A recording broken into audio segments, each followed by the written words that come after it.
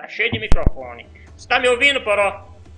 Sim, Dani, tô ouvindo. Aê, agora sim. O que que você... Deixa eu soltar a vinheta, vou soltar a vinheta e após a vinheta eu já vou jogar Poró para trazer esse quadro de Conecta Esporte aqui na TV IPW.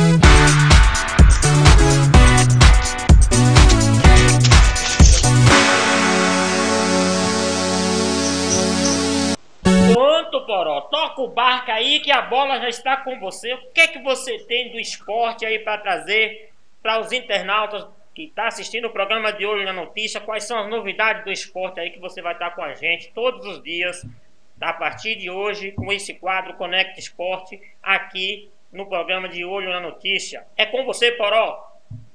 Boa tarde, Dene. Boa tarde, meus amigos internautas. Que saudade de vocês. Estava com saudade, viu, Dene? Desse bate-papo é. gostoso da gente, que fazíamos sempre à noite, mas devido a essa pandemia braba aí, a gente teve que interromper o trabalho, mas com a fé em Deus, logo, logo estaremos voltando integralmente, fazendo nosso programa é, Connect Esporte. Mas é um prazer imenso estar ouvindo, estar falando com esse público seu, que é um público, acredito que não 100%, mas uma maioria diferente daquele nosso público de internautas noturnos. Mas hoje nós vamos ter pouca coisa, porque afinal de contas, esse convite chegou quase que em cima da hora.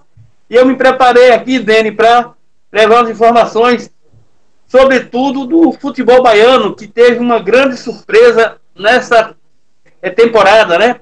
Nós tivemos dois times do interior decidindo o campeonato baiano pela primeira vez na história já tivemos Fluminense, já tivemos Atlético, já tivemos Bahia de Feira, já tivemos Colo-Colo na final do Campeonato Baiano, mas dois times do interior é a primeira vez, tá bom? Então, para adiantar o fato, o Atlético de Alagoinha sagrou-se campeão baiano 2021, pela primeira vez, levantando o caneco de campeão baiano, time de Alagoinhas que vinha já perseguindo esse título há alguns, há alguns anos, né? Ele que é, subiu da Série B para a Série A, salvo engano, em 2017 e 2018. Em 2018, ele chegou às semifinais, foi eliminado. Chegou em 2019 é, nas, na semifinal mais uma vez, eliminado. Foi finalista em 2019 com o Bahia. E o Bahia venceu o Atlético com as falsas na mão, quem não se lembra, né? Naquele empate que foi para os pênaltis. E dessa feita, o Bahia, que vem usando, o Bahia, estou falando do Bahia de Salvador, que vem usando um time B, né, um time de transição, como eles chamam, é, dessa vez se deu mal. Ele foi superado pelo Tremendão, que é o Bahia de Feira, que é, venceu na, no, por apenas 1 a 0 onde o time do Bahia é muito forte, até por questão do gramado, que os clubes baianos não têm costume de jogar em grama sintética. E o Bahia enfiou 3 a 0 o, Tremendão no Bahia de Salvador e conseguiu a sua vaga para a final. Enquanto que o Atlético de Alagoinhas foi lá em, em Juazeiro, eh, tomou 1 a 0 da Juazeirense e em casa ele venceu o jogo por 2 a 1 certo? Então ficou assim a final. Bahia de Feira que no primeiro jogo empatou em 2 a 2 lá em Alagoinhas. E ontem ele perdeu por 3 a 2 em casa. O Atlético de Alagoinhas encordou em cima do Bahia, do Tremendão de Feira, e tirou a chance do Bahia conquistar o seu segundo título. Ele que foi campeão em 2011. Tá? Então o Bahia estava correndo atrás aí do bicampeonato. Não foi dessa vez, não deu. Então, o Bahia estava doido. O Atlético de Alagoinha é o grande campeão. É o grande campeão. Assim como o Bahia e Salvador estavam para conquistar o, tri, é, o, hepta, o, né, o tetracampeonato, mas também não deu. Agora, Dani, é, a gente tem que lamentar o estado que vive o Vitória, né, bicho? Uma, uma, uma, uma providência séria, medidas drásticas, inclusive encurralando esse presidente Paulo Carneiro.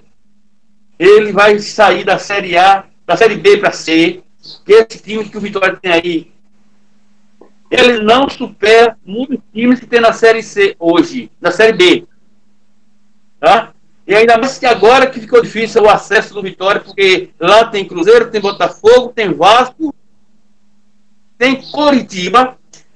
Enfim, é uma, uma série B esse ano dele, fortíssima. Vitória não está se preparando, não está se reforçando à altura para que ele brigue é, palma a com esses times para subir, né, para acender a cidade. Enfim, mas nós somente vemos, Dene, no final de semana, a grande decisão, as grandes decisões do Campeonato Paulista, do Campeonato Carioca, Campeonato Mineiro e Campeonato Gaúcho. No Rio de Janeiro, mais uma vez o Flamengo. Certo? O Fluminense. Nos jogos. No jogo, é, você é flamenguista mesmo. no jogo de ida, o Flamengo empatou em 1 a 1 com o Fluminense, foi chegando 1 a 0 Aí com aqueles vexames que o Rogério Ceni costuma dar no time do Flamengo, você sabe, é flamenguista sabe. Né, permitiu que o Fluminense empatasse. Mas, no jogo de volta, o, o Flamengo simplesmente ele comprovou aquilo que eu, muita gente vem dizendo. O Flamengo não precisa muito de treinador, porque o Flamengo ainda é o melhor time do futebol brasileiro.